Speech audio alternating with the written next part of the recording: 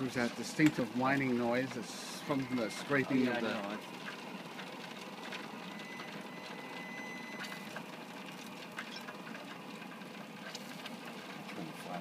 It's a Summit 650, uh, circa Summit Gold, circa 2005, 2006. They uh, no longer make this model.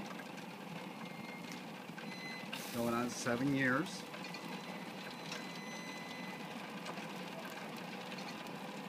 And I do owe a debt of gratitude to Lois and Jerry and the, Copley blogger from Co- Copley, Ohio.